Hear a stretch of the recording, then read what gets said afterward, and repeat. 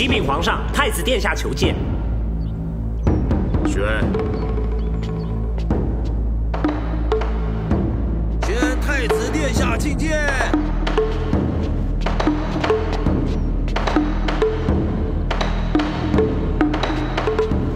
儿臣叩见父皇，奴才叩见皇上。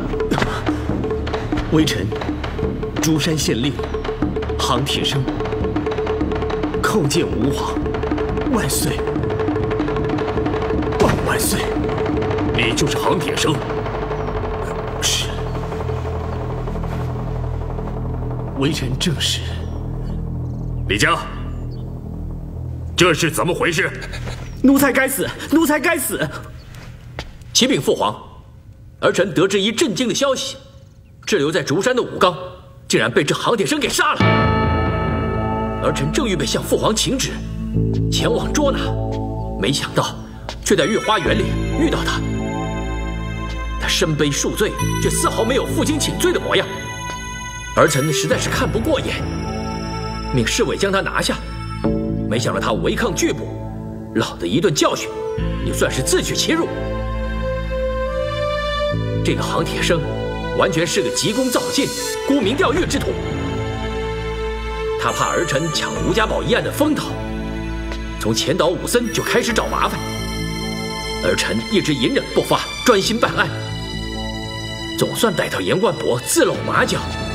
人赃俱获之下，儿臣痛心疾首，铲除败类。没想到他反倒恼羞成怒，扣了儿臣一个罪名。武刚慢了一步。甚至成了他的刀下冤魂。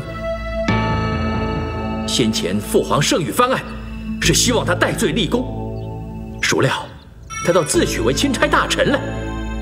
如此目空一切、为所欲为，简直是愧负皇恩，罪不容诛。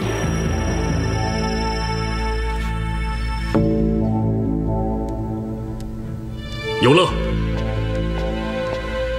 在，把朕的尚方宝剑拿来。遵旨。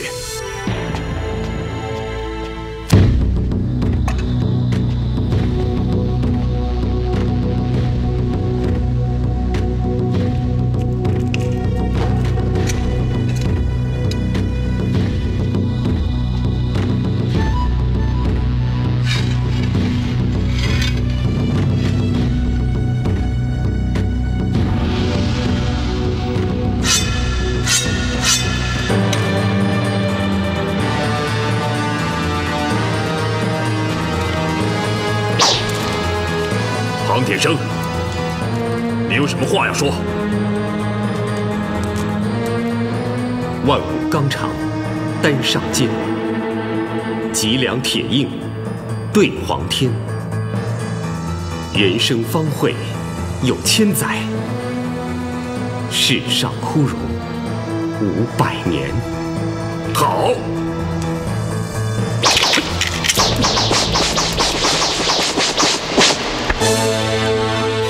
父皇，拿着。皇上，能得到朕御赐的尚方宝剑，你可是头一个，还不快快拿着！微臣遵旨。父皇，这是什么意思？杭铁生，你听着，朕要你带着这尚方宝剑，回到竹山去斩了武僧。是，微臣领旨。田龙，你知不知罪？父皇，儿臣何罪之有？放肆！你罪在知人不明，罪在上有所好，下必甚焉。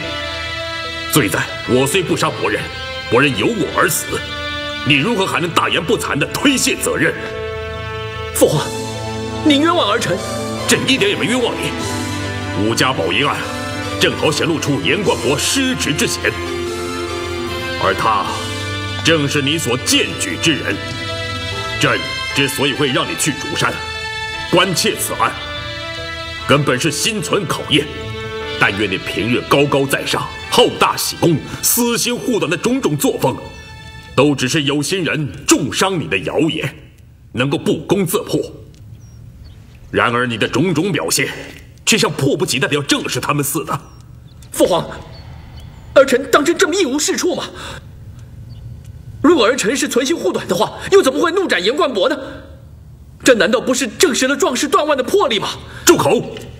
严冠博加上吴氏兄弟，只证明了你的毫无眼力，事后又无视法纪，只凭自己好恶，滥用权力，你竟然还敢振振有词的称之为魄力？你真是让朕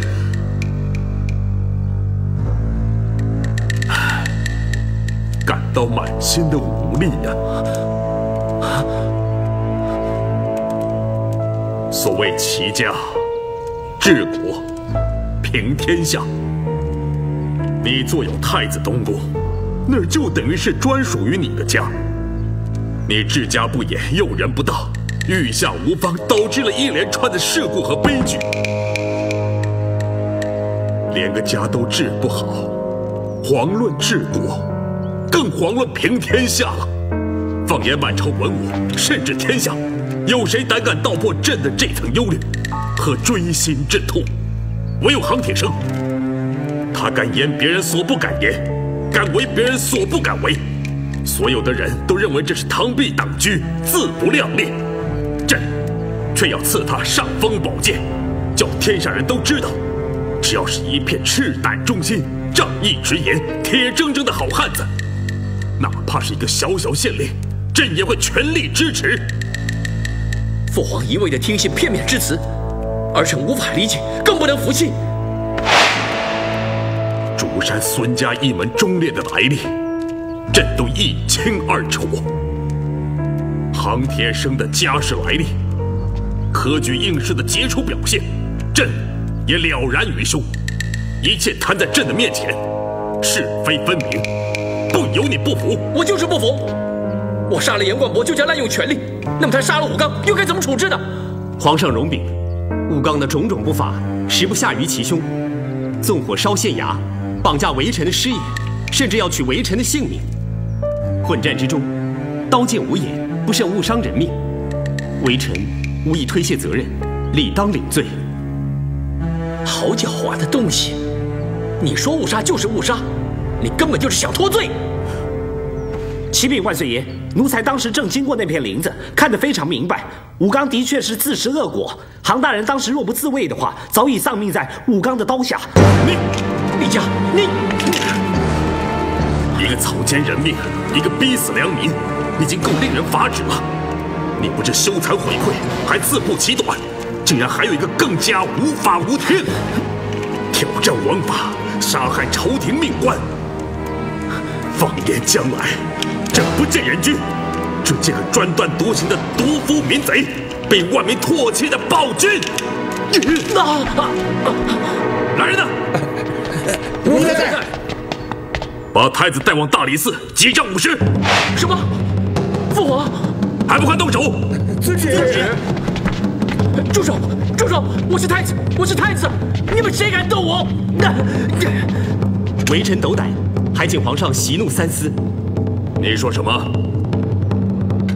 皇上所赞赏鼓励的，不就在于臣的知无不言吗？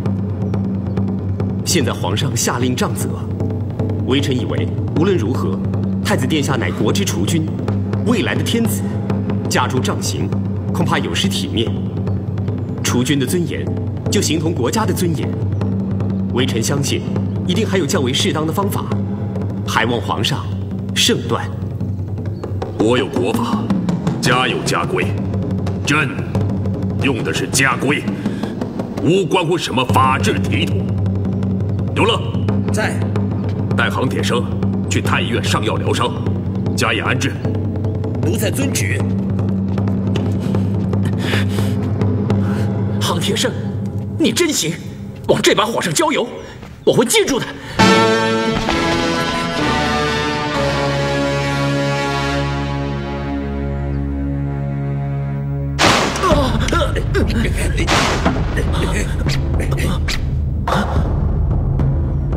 用刑。是。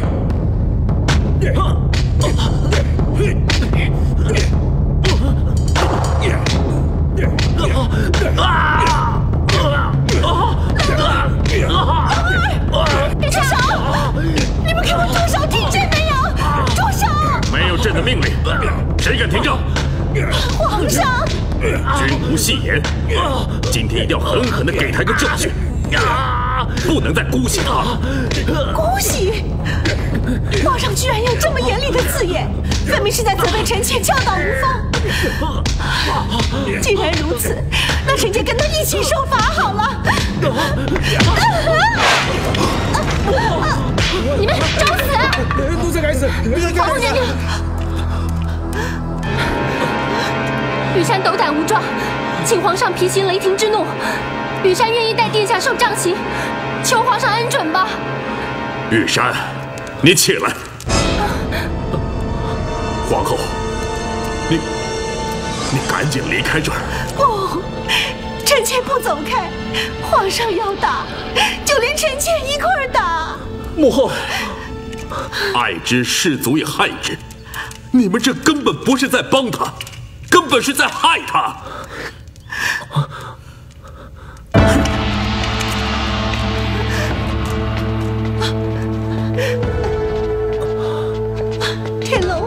你怎么样？殿下，你没事吧？滚开！要不是阿南盯得紧及时通报，我真不敢相信皇上会如此对你。真是太奇怪了，他为什么要护着一个小县官呢？奶娘呢？情况如此诡异，他怎么会放过小县官的一举一动呢？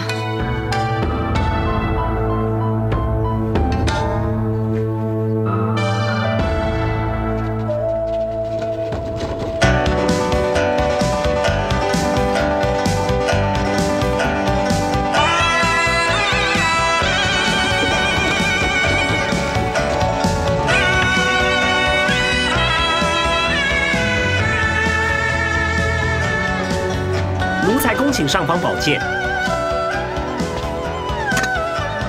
唐大人，请。好请。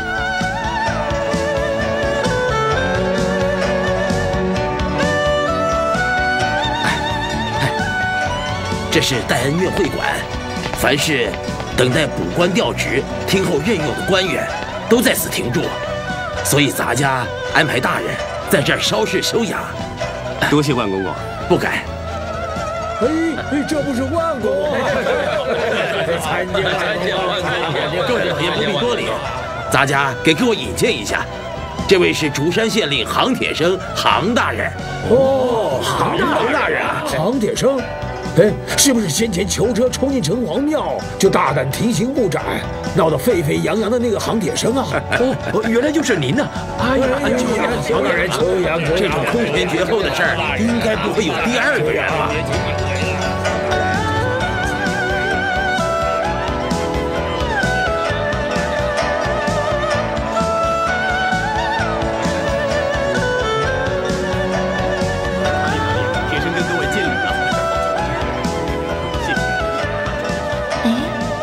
铁生怎么受伤了？为什么这些人团团包围着他呢？这么多男人，我一个女子怎么能进去呢？无论如何，铁生好歹是平安的从皇宫里出来了，我就忍一忍，等到夜深人静的时候再去看他。他一定想不到我会一路追随着他来。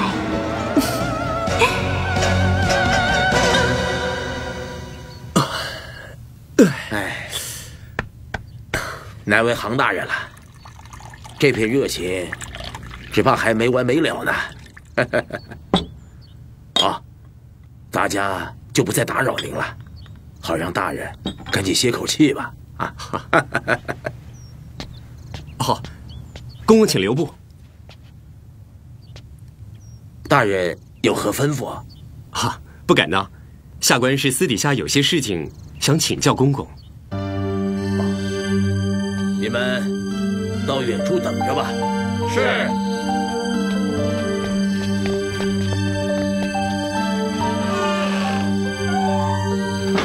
坐啊。大人请说吧，咱家知无不言。好，多谢公公。是这样的，下官在竹山有缘认识了一位名叫望郭的女人。顾名思义，就是她对于过去的事情都已经不复记忆了。因为他曾经摔落悬崖，头部受了重创。哼，可怜他，从此就疾病缠身，一发作起来，整个人就失了神，竟说些奇怪的话。本来我也不以为意，只当是犯病的胡言乱语。可是，当他冲着李公公叫出您的名字时，那就实在无法让人不在意了。他叫出咱家的名字？是啊，连李公公都吓了一跳。可惜，不论我们怎么盘问他，都问不出个所以然来。要不是我今天能够死里逃生，又有幸认识了公公，否则恐怕一辈子都没有机会开口了。这望姑这个名字，大家一点印象也没有。当然，照大人所言，这显然不是他的真名。未见其人，实在难以判断。哼，下官的师爷颇通岐黄之术，推断他可能是得了失忆之症，导致有些东西会刺激他产生短暂记忆。最明显的，就是火。火？是啊，他一见到火，就会完全失控，似乎陷入了某种极端的恐惧当中。上次武刚放火烧县衙，他面对火场，就完全崩溃了，一直哭喊着什么“花蕊”。公公，公公没事吧？没给茶水烫着吧？没没没有，没事没事。哎哎，咱家真失态了，大人见谅啊。公公好说。哦，大人继续继续说吧。是，不瞒您说，还有一次就更荒唐了。他抓着太子殿下直喊皇上，还要他舅舅。舅舅柔妃什么？的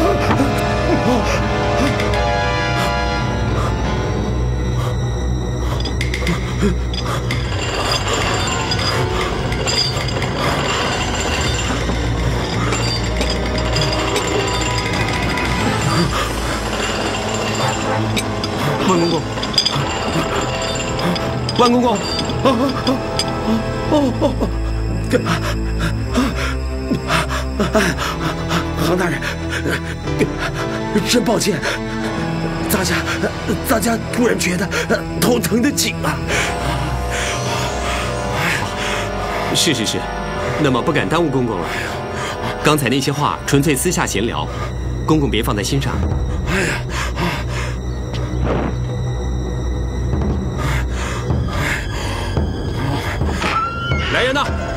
万公公突感不适，有劳各位了。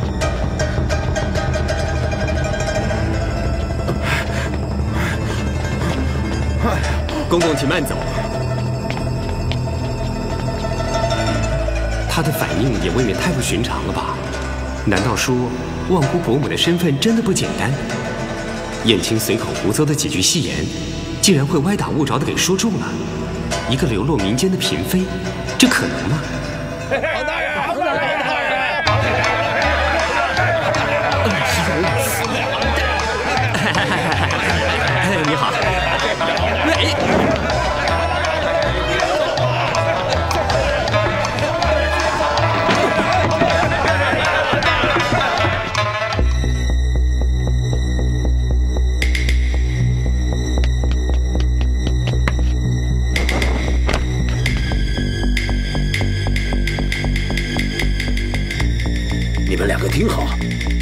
给我仔细的在外头看着，别让人进来。是是。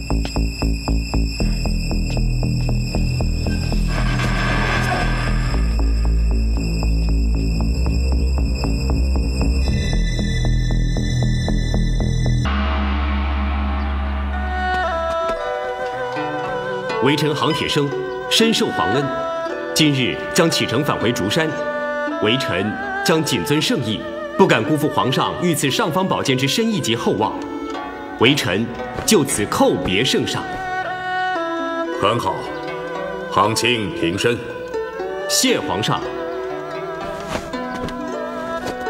微臣斗胆请旨，等到武森伏法，任务执行完毕，微臣当立刻回京，将尚方宝剑归还圣上。你要把宝剑还给朕？是。尚方宝剑，如朕亲临，你可明白？臣明白。朕倒不明白了。朕乃万圣之尊，一言九鼎。宝剑是个象征，代表朕赐予你至高无上的权力，远远超过了你目前所拥有的。这份尊荣和珍贵，换做他人，怕是汲汲营营，唯恐不能长久。而你，竟要归还。正因为是一份至高无上的尊荣，所以微臣戒慎恐惧，不敢妄自尊大。而且微臣也心知肚明。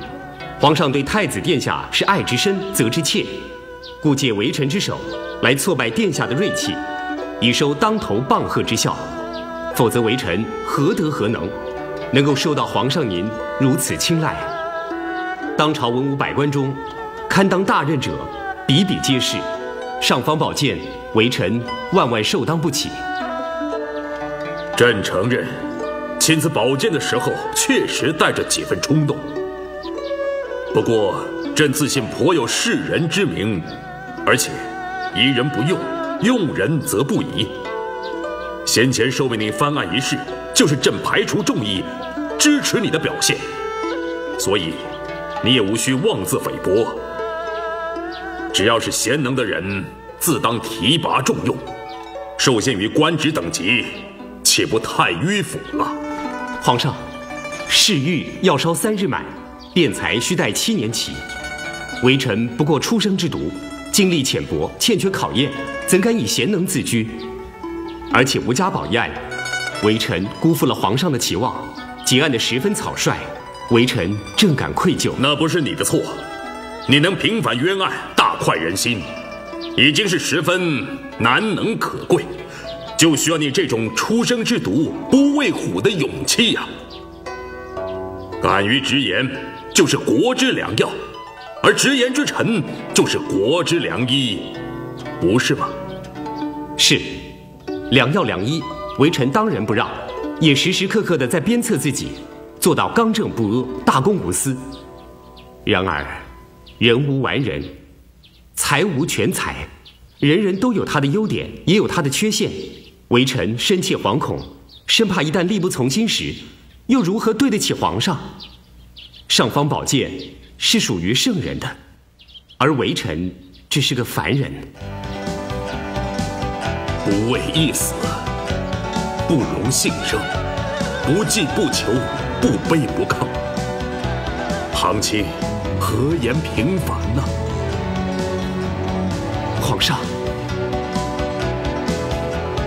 尚方宝剑是属于圣人的，是吧？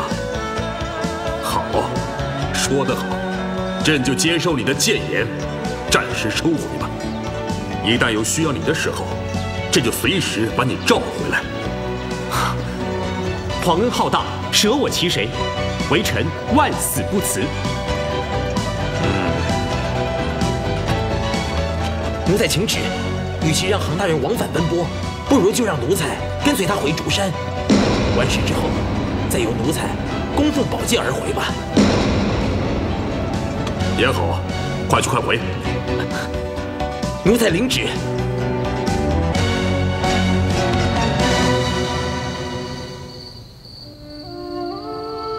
大慈大悲的观世音菩萨，求您保佑杭大人吉人天下，让一切都能够化险为夷。还有我的女儿宁香。大人前脚才刚出门，他后脚就跟了去。虽然他身怀奇技，可到底从未出过远门，有涉世未深的。菩萨保佑，菩萨保佑，保佑宁香和大人快点平平安安的、平平安安的回来吧。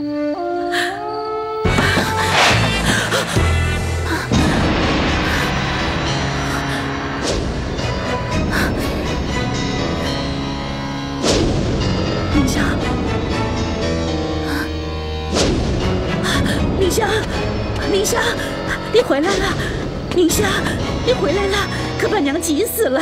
哎呀，回来就好。啊，你受伤了？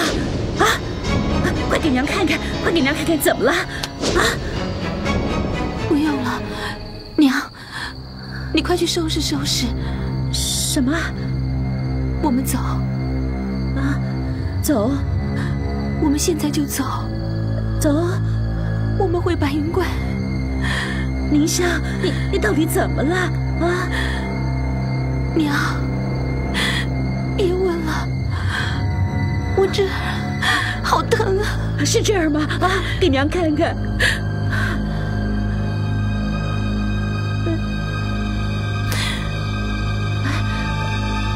杭大人呢？杭大人怎么没回来？他发生不幸了吗？啊，他他死了。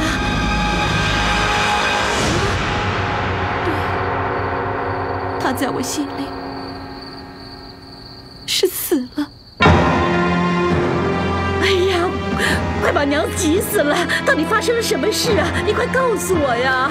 娘啊，我求求你别问了，我们走，我们离开这个地方，现在就离开这个地方，我求求你。好吧，娘听你的，我收拾，我收拾。我马上去收拾。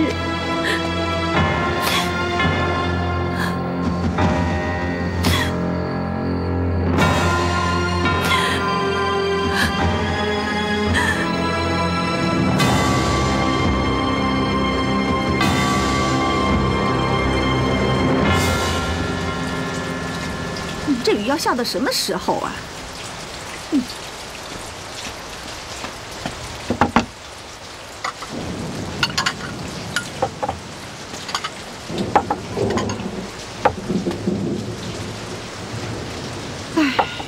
铁生又不在，我还摆他干什么？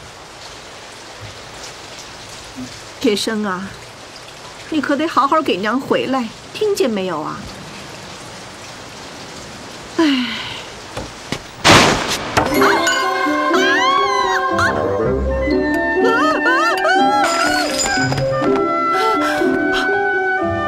哎，怎么了？怎么了？谢大娘，你没事吧？没事，没事。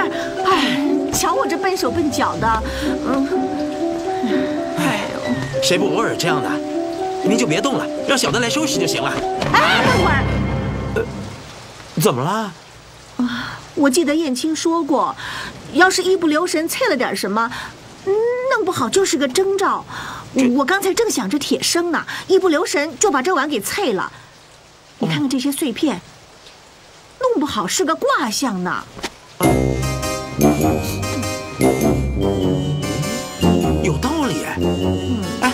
那小的赶快把师爷找回来瞧瞧吧。哎，等等，又怎么了？我前几天刚跟他说过，他要是再敢给人家断一个字啊，我就把他的嘴缝上；他要是再扳着手指头算呐算呐的，我就把他的手指头给剁了。我现在怎么好意思开口去问他呀？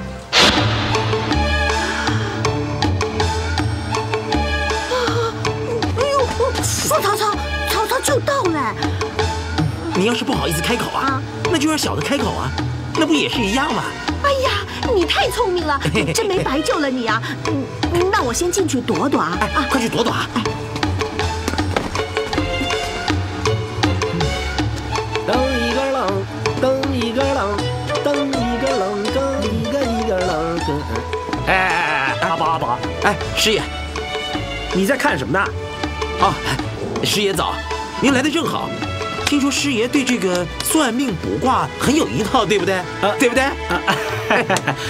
哎呀，不敢不敢，只不过是有点心得，哎，略通一二。哎呦，师爷啊，您就别客气了。呃，刚才小的呢，心里一直惦记着杭大人，嗯，所以不小心呢，就把这碗给打落在地上了。哦，哎，师爷。您说这个会不会是一种卦象预兆什么的呀？嗯，我来看看，我来看看，快，您过来瞧瞧，快瞧瞧。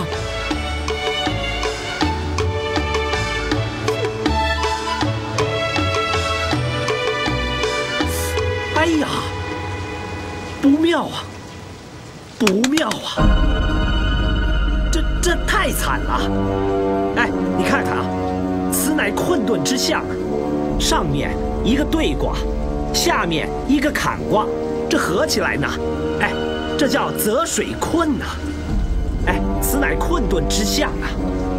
遭人冤枉却无人相助，受人欺负却百口莫辩，哎，简直是困扰至极呀！是四大难卦之一呀！这、这、这、这、这、这有这么糟吗？那当然了，你来看看，这月卦代表的是池塘，坎卦代表水。嗯，你想想。这池塘在水之上，池塘里头能有水吗？呃，肯定是一路干旱下去，毫无希望啊！啊，那那就连那么一点点好都没有啊！嗯，这月卦嘛，还多少有点喜悦之象。哎，喜悦好啊，喜悦好。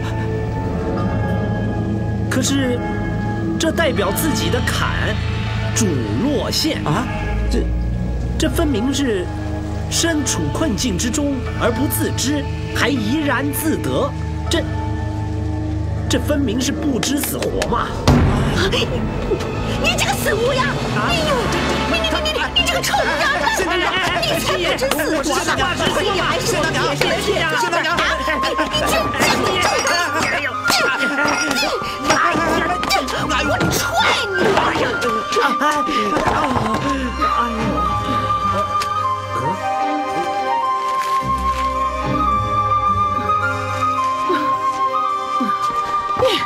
死我了！谢大娘，谢大娘，您别生气了。哎，这实在怪不得师爷啊，都是小的错，刚刚什么都别问就好了。县大娘，陆先生如晤，这些日子以来承蒙盛情照顾，恩同再造无以回报，望姑实在惭愧难当，只有等来生衔环结草再报，请原谅我们的不辞而别。望姑母女拜别，这这怎么会这样呢？我们虽然相处时间不长，但是共度那么多事情，就这么不辞而别了，这这未免太绝情了吧？而且而且，为什么写望姑母女拜别呢？宁香明明是追着铁生进京去了，难道他回来了？那也应该知道铁生的消息啊，好歹也告诉我们一声啊。我知道了，肯定是铁生出事了，宁香才会偷偷跑回来，带着万姑走了。谢大娘，你你别哭啊！他们母女绝不是这样的人。我不管他们是什么样的人，这不都应了你的卦了吗？心怡，心怡，我求求你啊，你千万别难过，我胡说八道，这这个破碗它怎么能算卦呢？心怡，我乌鸦嘴，我不该瞎说，我瞎说。快快，你们都滚！你别哭了，你们滚呐滚呐！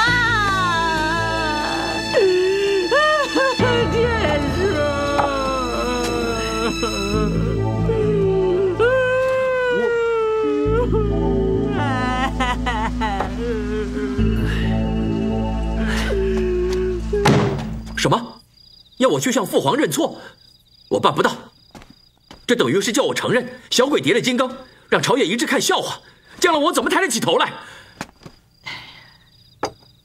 你这回输掉的岂止是面子啊？如果再不用心扳回的话，难保把你这个太子的头衔也给输掉。殿下不见，那想要飞的，总是先把翅膀给垂下来。那想要跳跃的，总得先把脚给弯曲起来。为了进，有时就先得退；为了得，有时要先得失啊。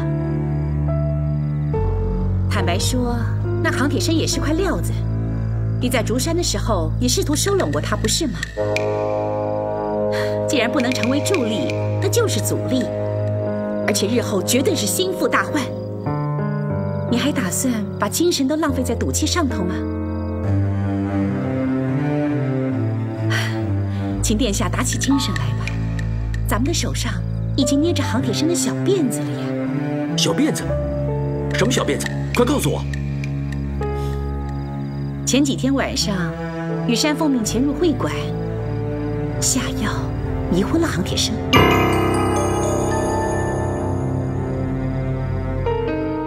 本来的计划是，雨山护主心切，现身恳求杭铁生放你一马，闹得他落个假冒伪善，百口莫辩。结果闯进来了一个不速之客，这倒是神来之笔呀！他变成了最佳的证人。谁呀？凝香姑娘。凝香。殿下碰到她的那天晚上。正是他目睹雨山和杭铁山共浴的情景之后，大受刺激、伤心欲绝的时候。现在，误会的种子已经入了土，它会慢慢的生根。一旦时候到了，这件事由宁香的口中指控出来，这岂不更胜一筹？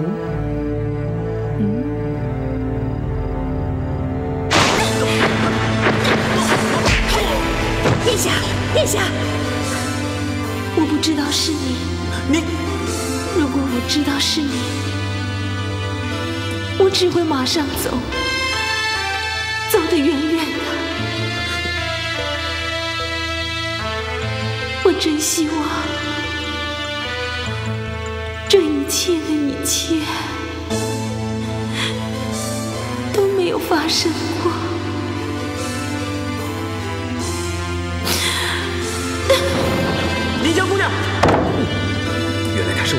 人失魂落魄，难怪他会失手。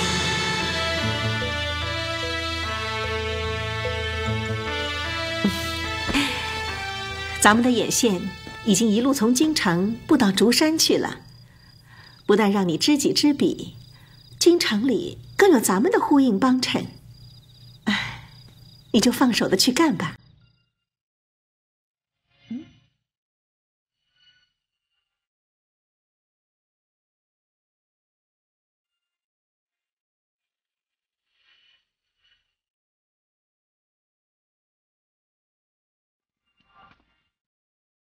几天不见天龙，不知他背上的伤如何了。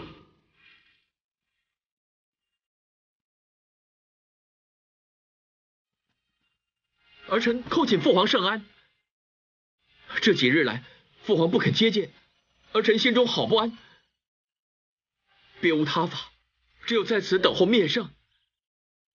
儿臣知错了，请父皇不要再生气了吧。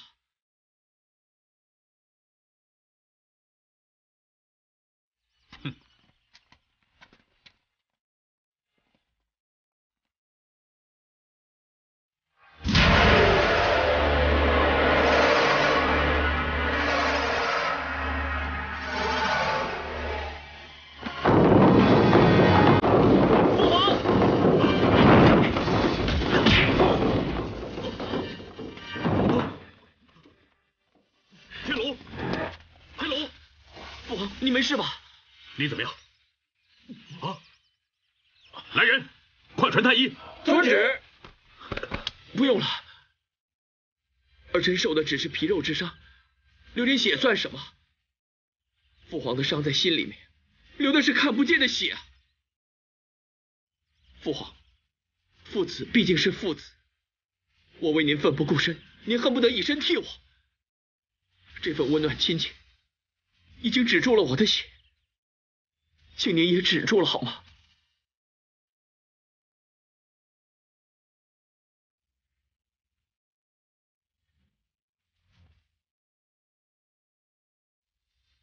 殿下，当真不需要传唤太医吗？不需要了，倒是那些年久失修的假山，该好好的整修整修了。是，奴才这就去办。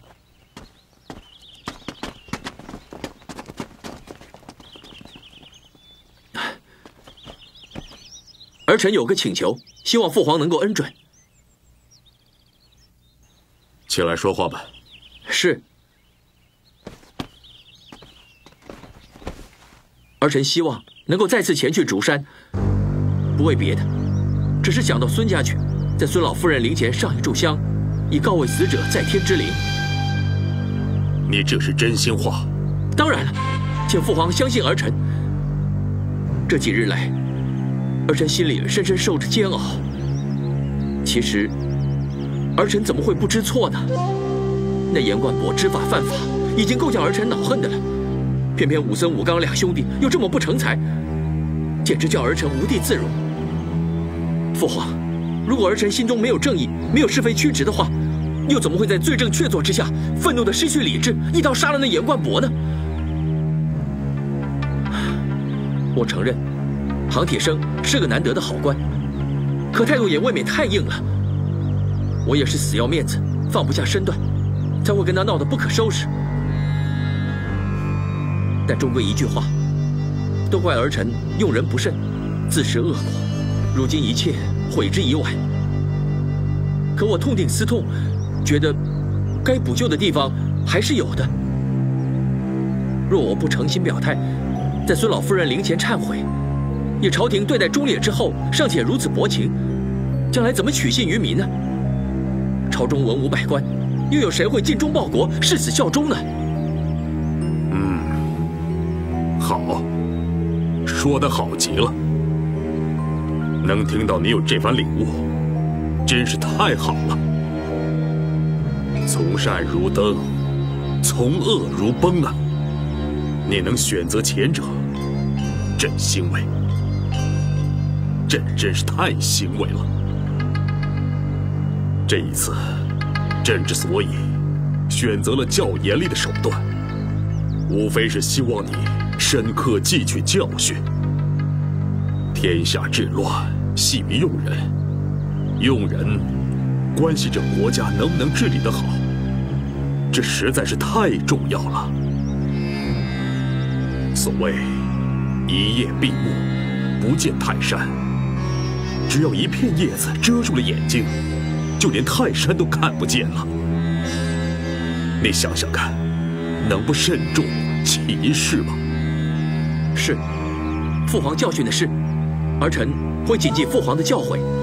还有那杭铁生，是个难得的人才。真希望你能捐弃成见，跟他好好相处。要知道，江海之所以能成为百川汇集的地方，正因为它处于低下的位置。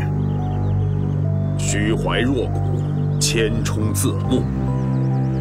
为人君者，要以德服人，服天下，才能屹立长存呢。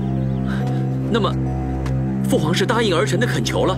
人不贵于无过，而贵于能改过。你有心向善，朕能不支持吗？儿臣叩谢父皇。嗯，来，起来吧。谢父皇。朕等着看你的表现喽。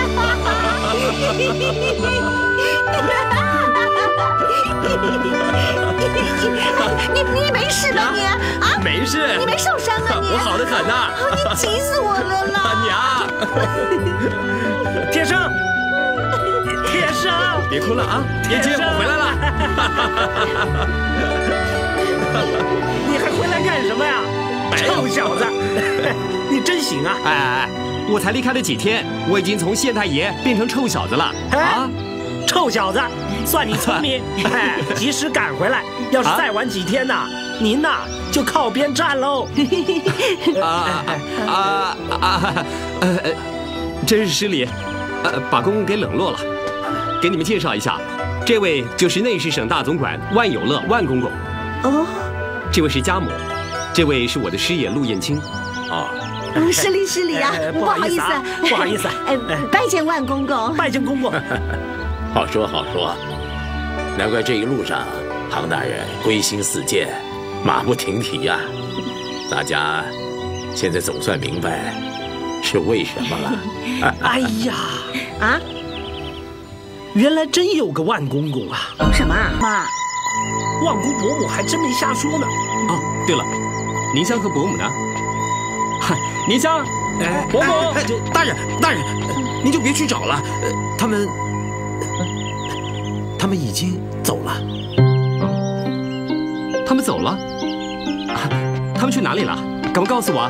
呃，我，哎呀，嗯，我说呀，你在京里没看见宁香啊？我为什么会在京里看见宁香呢？哎，他们母女去了京里啊。我，啊，怎么回事啊？我，那，哎呀。你跟李公公前脚一走啊，宁香就流言出走了，说是要跟随你到京里去呢。呃，后来前天晚上不知什么时候又回来了，拉着万姑就跑了，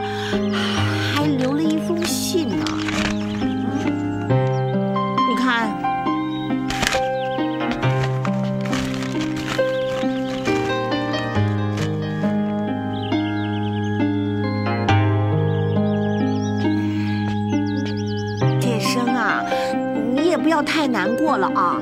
其实嘛，这也是人之常情嘛。你没听人家说过吗？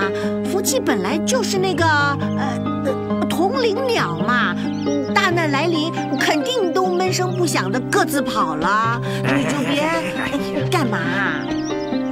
什么同林鸟啊？怎么还锣鼓鸟呢？人家是指啊，生长在同一片树林里的同林鸟。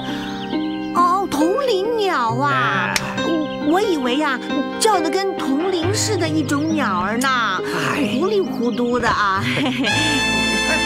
大人，哎哎，铁生，大人，铁生，铁生，你到哪儿去啊？哎呀，铁生啊，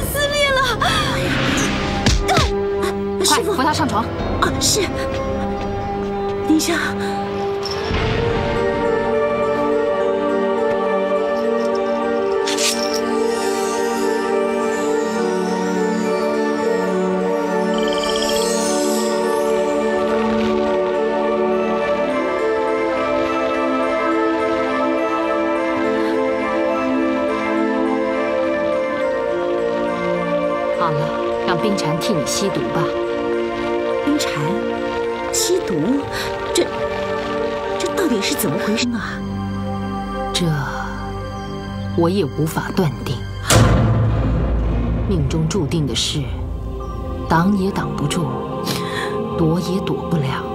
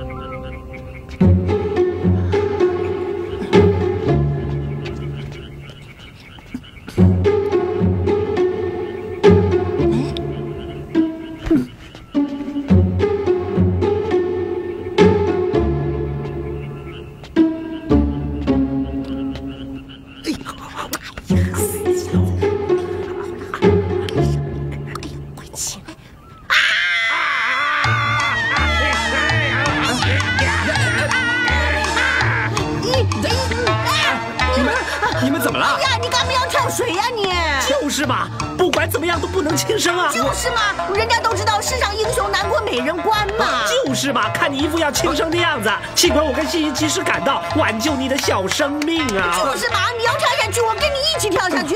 就是嘛，我也跳。你去吧你。哎哎哎哎哎呀！这这，哎呀，叶青，救命啊！救命啊！我不会游泳，妈，不会。你们两个都一样，自以为是。我不会游泳。哎呀，哎呀呀，你不是要跳水的吗你？谁要跳水了？只有他才会做这种傻事。你！哎呦。你在这唉声叹气了半天，一定有很好的理由了。我，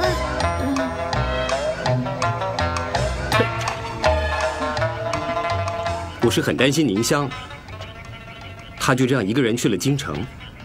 我相信，只有一个目的，就是为了和我生死与共。可是后来到底发生了什么事情，让他打消了这个念头，还从此销声匿迹？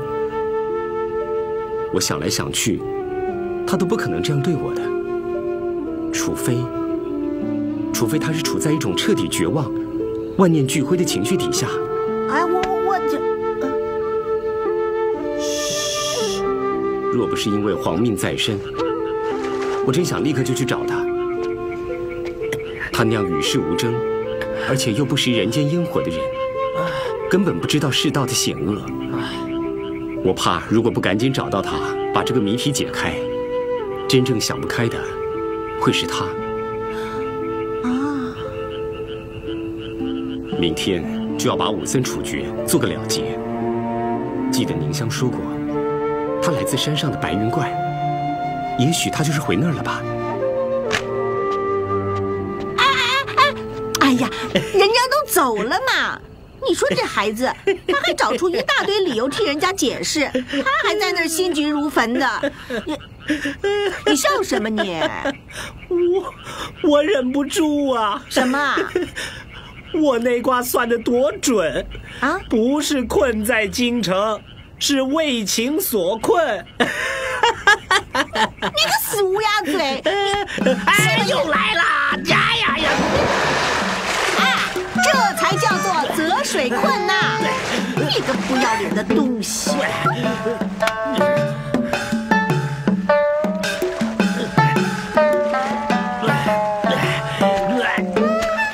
泽水困，泽水，困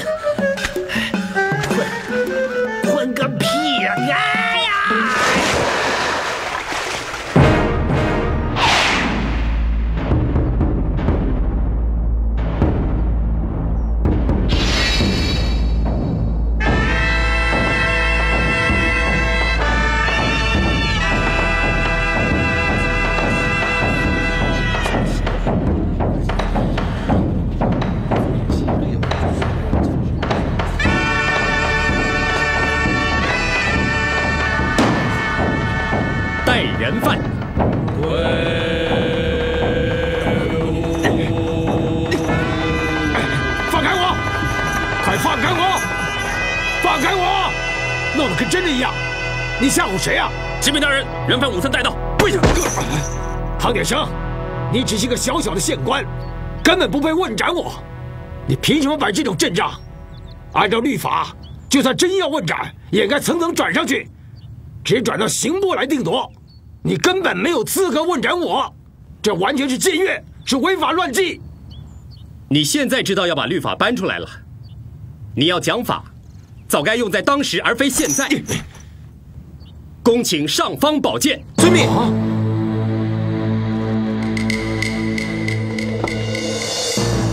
上方宝剑在此，有如皇上御驾亲临。吾皇万岁万岁万万岁万岁！皇上，竹山县令杭铁生奉旨监斩武森，午时已到，人犯也已验明正身。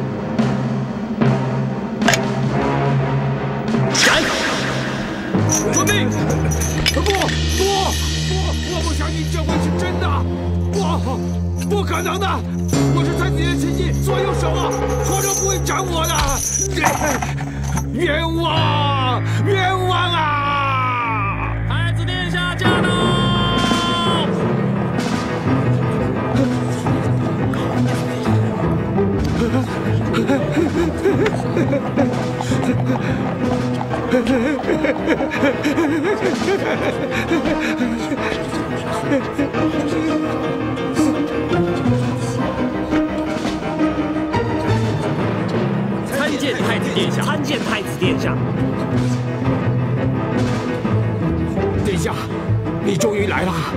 我就知道你不会弃我不顾的。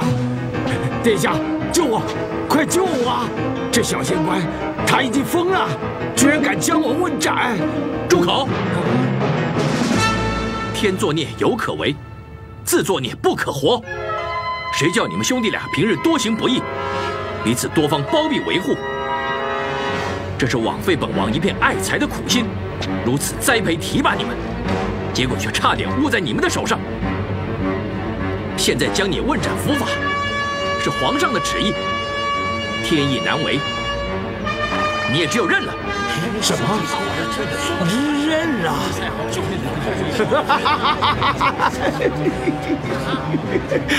叫我认了？太子殿下英明！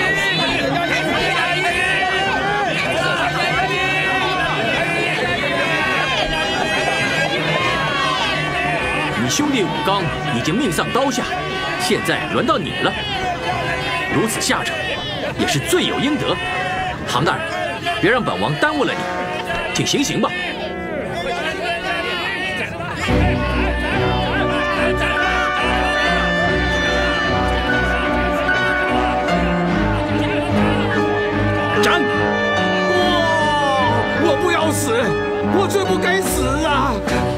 祸首是太子，你们知不知道他干了多少昧着良心的黑心事啊？你们不要被他的伪善和假面给蒙骗了，一群昏官、愚民呐！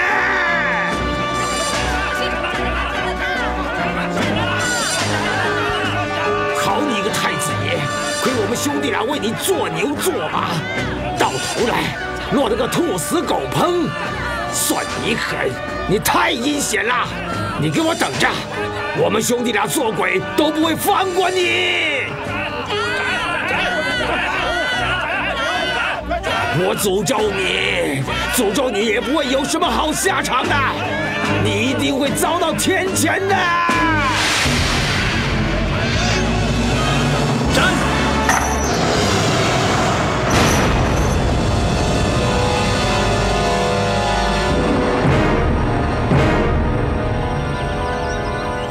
参见太子殿下。哦，起来起来，大家都快起来，不要再这么拘礼了。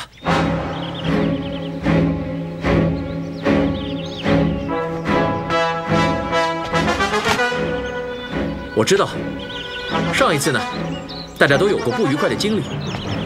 可是过去的事情就让它过去吧。各位请放心，这一次我当真是得到父皇的首肯，专程回来赎罪的。另外呢，父皇还特别嘱咐我，要我好好的和杭大人结交一番。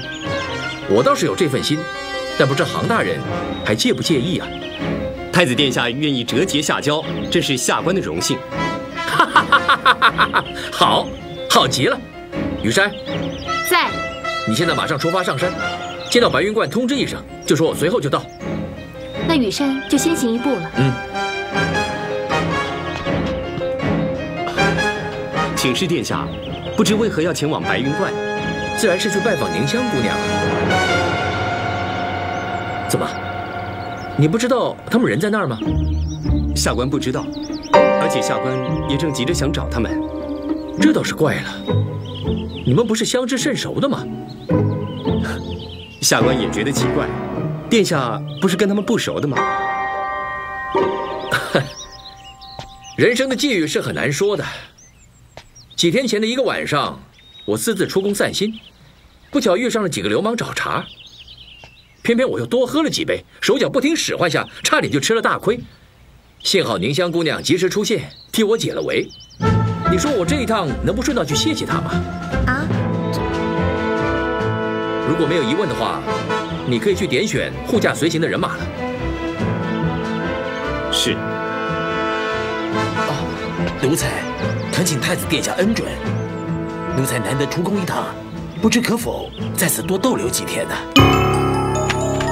有乐，你可是老工人了，这尚方宝剑可是比我还大，要是落在什么有心人的手里，出了什么乱子的话，是你担待呢，还是杭铁生担待？这殿下顾虑的甚是，甚是。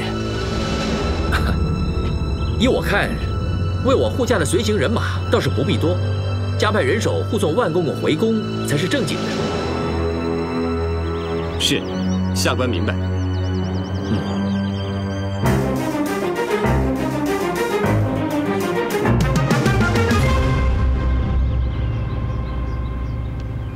哎呀，燕青，你快点嘛你！哎嗨嗨！哎哎哎，铁生，铁生，铁生啊！